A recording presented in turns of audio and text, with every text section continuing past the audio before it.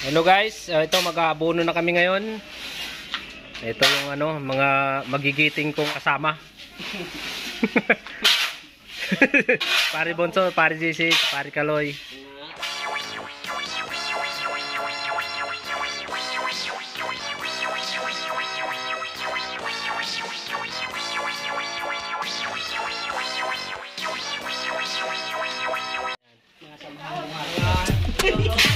Shout out, shout out.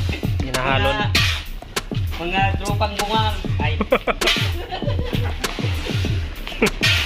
Ang gamit ko palang ah, abono ngayon guys, ito. Ah, Viking ship, Soya 4607 saka triple 14 wire. Ah. Ah, obserbahan natin kung maganda pa yung klase ng abono na to. Pero ito talaga yung mga pangabono. Ito talaga yung dalawang paghahaluin para sa sa palay. Ay yung palay ko pala ah, nasa mga ano na ah, 30 ah, 20 days na mahigit. Ah, nasa 20 3 weeks na pala 3 weeks so kailangan na siyang abunuhin Ah, kung napapansin nyo guys dalawang sako lang yung ginamit ko. Pero yung pagsasabugan nito ah, mga yung isang hektarya nga. Pero walang problema sa akin yun kahit dalawa lang. Kasi ah, sinabugan ko siya ng yung organic fertilizer yung tayo ng manok na 32 ah 32 bags Ah, dami nun di ba? 32 bags Ah, kaya ito ayoko namang masubrahan sa abono. Kung susundin ko yung tamang abono hindi pwede na kasi meron na siyang organic. Kaya ito lang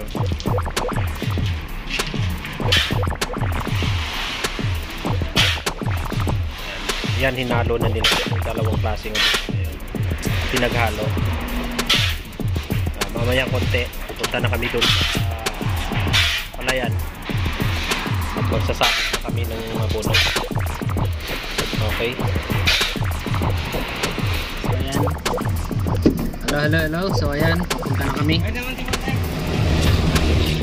yan na yung aming yung aking abono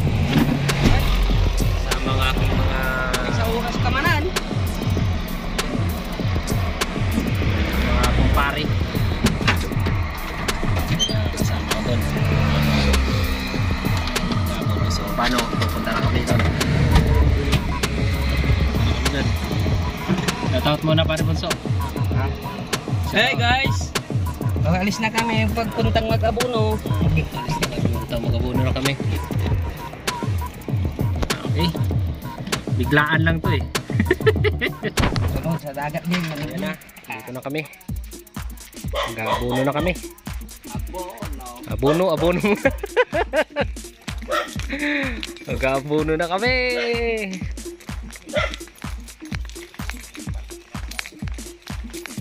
Ito, dito yung ano. Dito ako ulit sa aking bukirin. You know. Ito yung ah, pina-spray ko to nung nakaraang ano eh. Nung nakaraang linggo. Ayan yan. Kung makikita nyo yan guys, nanilaw yan sila, nanilaw.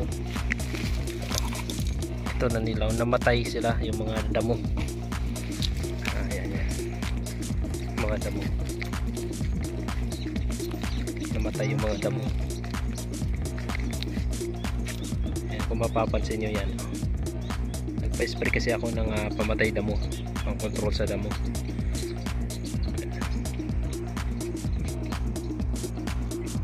Then dito na siya. So ngayon, ah, mag-aabono na ako.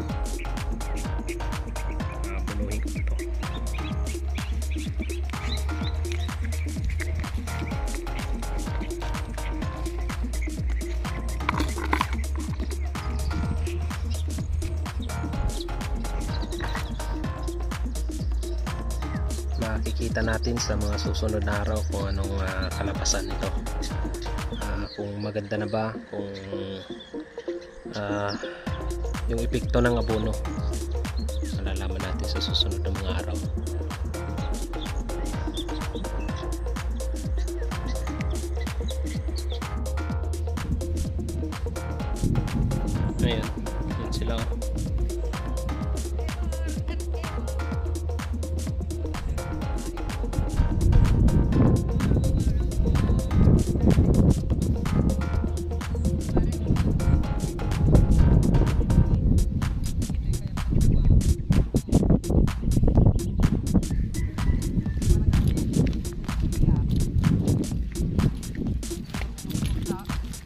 kangkong